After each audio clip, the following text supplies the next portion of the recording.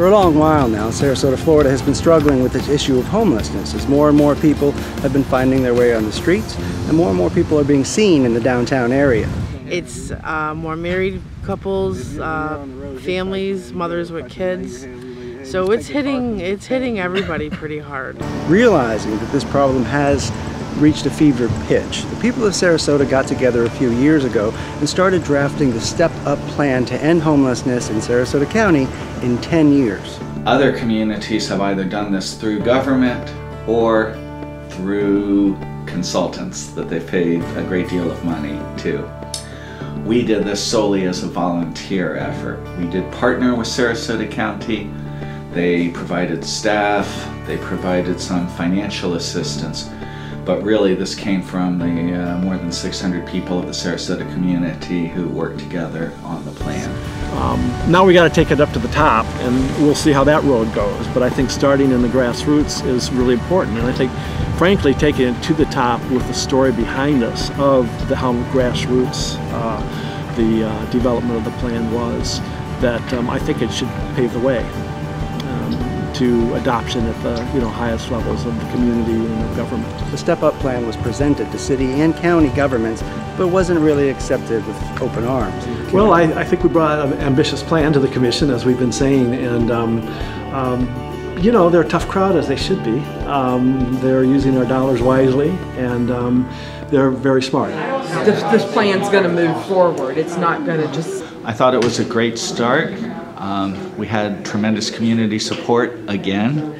I think that support helped influence the commission, and I feel like we've got the foundation to move forward. Government will be there if everyone else is there.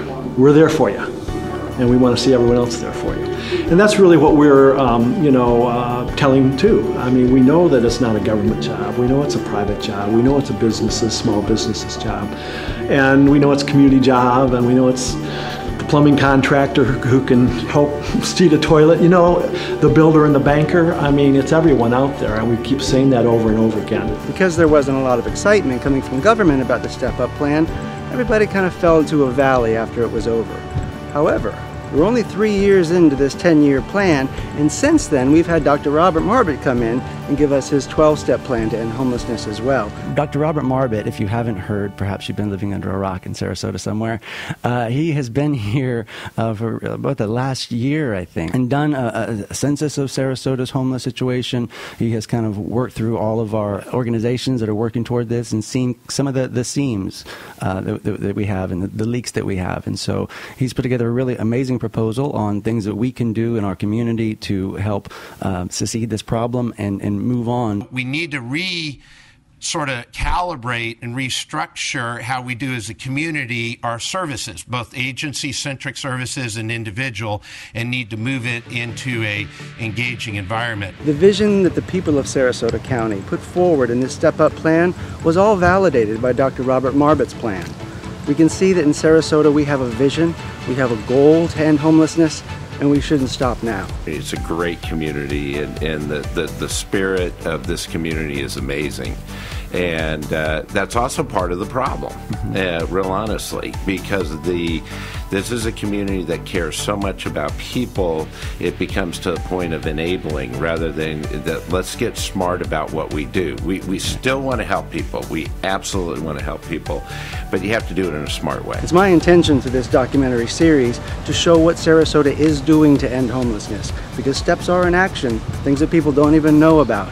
And if we can start to communicate what is actually happening and where we go from here, perhaps we can get more community input, community investment, and we can solve this problem here.